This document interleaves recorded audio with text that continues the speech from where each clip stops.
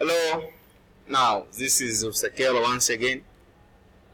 Na leo tunaenda kujifunza topic inaitwa unemployment kwenye principles of economics. Naam, sasa katika unemployment inatakiwa tujue maana ya unemployment, types, eh, effect. Sasa kabla tujaenda mbele sana tuanze moja kwa moja na what is unemployment. Unemployment ni kitu gani? Mm, ukosefu wa ajira ni nini? Unemployment is a situation whereby people who are willing and able to work lakini wao katika working age cannot find job. Kwa ile ni ile situation ambapo watu ambao wa- wapo tayari kufanya kazi na wana uwezo wa kufanya kazi na wapo kwenye umri wa kufanya kazi, wakitafuta kazi hawapati kazi au hawana kazi, ndio inaitwa unemployment. Kuna aina ngapi za unemployment? Types of unemployment. Unemployment ina types nyingi. Ya kwanza ni seasonal unemployment, start structural unemployment, kuna frictional unemployment, kuna casual or erratic unemployment, kuna cyclical or demand deficiency unemployment, kuna disgusty or hidden unemployment, kuna residual unemployment. Sasa tuanze na moja baada ya nyingine, tujue hii ina maana gani, hii ina maana gani. Starting with seasonal unemployment. Nini maana ya seasonal unemployment?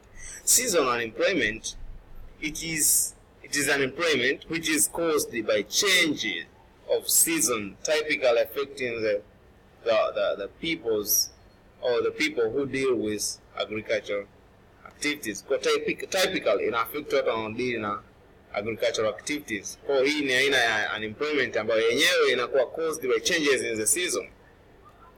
Ni kama vile msimu wa mvua na jua. Kwa wakati wa, wa- wakati wa, wa mvua watu wanakuwa na ajira, wana, wanaweza kuingia shambani wakalima, wakapalilia si na nini. Wakati wa, wa jua kali, mwezi wa kumi, mwezi wa tisa, yule yule mtu anakuwa hana ajira. Kwa hiyo inaitwa seasonal unemployment. Wakati type nyingine ni structural unemployment. What is structural unemployment? Structural unemployment it is unemployment which is caused by mismatch mismatch between the job opportunity and the skills of the people. Hii ni pale ambapo mtu yeye ni mwalimu lakini ajira zilizopo ni za uhasibu. Kwa maana yake skills aliyonayo ni tofauti na ajira iliyopo. Mismatching between the job opportunity and skills. Kwa ana ujuzi wa kufundisha lakini ajira zilizopo ni za uhasibu. Hii inaitwa structural unemployment. What about frictional unemployment or such unemployment? Frictional unemployment, this is unemployment which is caused by moving from one job to another. Kile kitendo pale mtu ambapo anahama kutoka kazi ajira moja kuja ajira nyingine. Kwa mfano alikuwa mwalimu, sasa anataka kuhamia kwenye uhasibu. Ule muda ambao ameacha ualimu na bado hajapata uhasibu pale katikati kina, ile, ile, ile, ile unemployment inaitwa inaitwa frictional unemployment or such unemployment. Pale ambapo anahamia kazi nyingine inaitwa frictional unemployment. What about, what about casual or erratic unemployment? Uh, casual unemployment, this is a day-to-day unemployment or short-time economic activities. Uh, hii casual or erratic unemployment ni ile ambapo mtu anakuwa na ajira kwa muda fulani, alafu muda fulani anakuwa hana ajira, kama vile uh, ajira za ujenzi. Mtu amejenga barabara mwezi huu, mwezi ujao barabara ishaisha, basi hana ajira, au tourism yeye ni yeye tourist guide. Mwezi huu ana ana, ana, ana ana matouristi, mwezi ujao hana. So vitu kama hivyo hapo inaitwa casual unemployment. Ingine ni cyclical or demand deficiency unemployment. Demand deficiency unemployment. This is unemployment which is caused by shortage of demand. Uh, lack of aggregate demand. Unakuta unakuta unakuta unakuta labda wewe ni, ni, ni dokta lakini ikatokea kwamba sasa huna wagonjwa, uhitaji wa huduma yako haupo tena. Ile sasa wakati ule wakati ambao huna kazi inaitwa cyclical or demand deficiency. Nyingine ni disgust or hidden unemployment. This is unemployment which occurs when the marginal con contribution of workers is zero or negative. Hii ni pale ambapo mfanyakazi anakuwa ana muda mwingi wa kupumzika. Mtu ni mtu mtu labda ni mwalimu au achana na, walimu. Kazi ya kufanya masaa watu kufanya kufanya kufanya watu, labda mtu mmoja wamepewa watu wawili. Kwa ile kazi wanawahi kuimaliza kwa wanakuwa na muda mwingi wa kupumzika. Ule muda ambao hawafanyi kazi ile inaitwa disgust or hidden unemployment ni, ni unemployment ambayo imefichwa kwenye employment yani hidden imekuwa hidden mtu anaonekana kama na kazi lakini muda mwingi anakuwa hafanyi kazi. Inaitwa hidden unemployment. Residual unemployment ni kitu gani? Hii ni unemployment ambayo yenyewe inakuwa caused uh, oh, it is due to disabilities. Ni pale ambapo mtu labda anatamani kufanya kazi fulani. Lakini yeye ni kilema eh, hana mkono eh, labda hana kiungo fulani. Kwa hiyo hii inaitwa residual employment.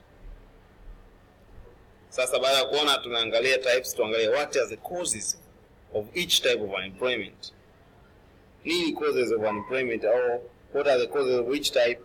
Vyote vitakusema. What are the causes of unemployment ya kwanza ni general causes of unemployment general causes of unemployment ya kwanza ni changes of season au climatic change. Ndio ile ambayo tumesema hii ina cause ina cause seasonal unemployment. Lack of skills. Lack of skills ndo kama ile ambayo tumesema yenyewe kwa ni, ni, ni structural unemployment.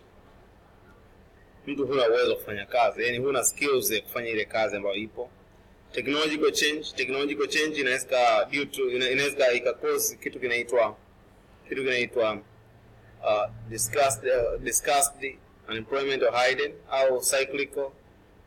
Hiyo hiyo hiyo technological change kwa mfano teknolojia te, teknolojia ilivyoingia baadhi ya watu walikosa ajira walifukuzwa kazini kwa sababu sasa zile kazi ambazo walikuwa wanazifanya zimeanza kufanywa na kompyuta.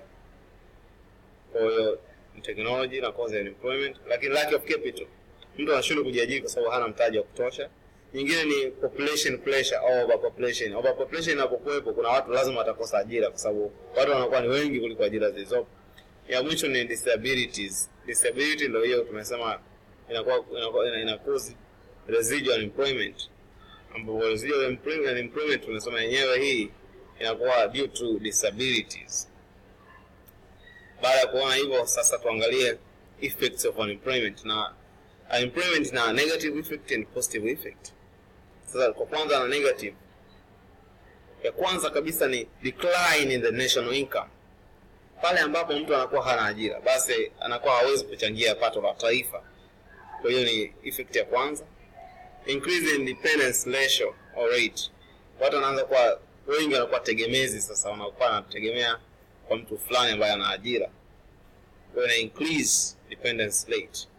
Nyingine ni decline in savings. Mtu hawezi kusave wakati hana pesa. Decline in saving. Hawezi kusave wakati hana pesa. Emergency in social evils. Mtu kama hana, hana ajira vyovyote vile tu.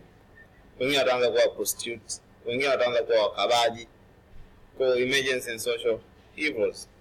Emergence of classes of rich and poor. Wenye ajira watakuwa rich sina ajira wanakuwa poor. Kwa classes in society. That is negative effect. Another increase in government burden in provision of social services. Sasa serikali inakuwa ina mzigo mzito. Sababu watu wengi hawana ajira. Na hivyo social services nyingi wanakuwa hawajiwezi kwa vyovyote vile kwa sababu hana uwezo wa kujilipia labda ada hana uwezo wa kujilipia matibabu na vitu vinavyofanana na hivyo. What about positive effect of unemployment? Ya kwanza ni increase in working discipline kwa sababu watu wengi hawana ajira. Ambayo yuko kazini anafanya kazi kwa nidhamu ya hali ya juu asije akafukuzwa kazi kwa sababu mtaani. Kuna watu wengi hawana ajira. Lakini nyingine ni increase in labor supply. Mm. Watu kwa sababu ni wengi hawana ajira basi wafanyakazi wanakuwa ni wengi supply ya watu wa- wa- wafanyakazi inakuwa ni kubwa. What is positive effect actually nyingine ni made for demand for inflation tunapokuwa na, na unemployment vyovyote vile kwanza what is demand pull inflation demand pull inflation unasema this is an inflation which is caused by higher demand. Pale ambapo demand inakuwa iko juu demand ya bidhaa kuna kitu inaitwa demand pull inflation inaweza ikatokea mfumuko wa bei kwamba watu wana pesa wengi wana pesa. Sasa kwa watu wengi wana pesa bidhaa ni chache kuliko watu wa- wa- walio- watu waliopo bei zinapanda. Sasa ili kuli- ili kusolve tatizo hili watu wanapokuwa hawana ajira hili tatizo linaweza- linaweza ikawa solved kwa sababu wanakuwa hawana pesa sasa ya kununua zile bidhaa. Kwa pesa zile bidhaa zitatosheleza watu waliopo kwenye market. Ah, na baada ya hapo kwa kifupi sana kuhusiana na, na unemployment tunaishia hapo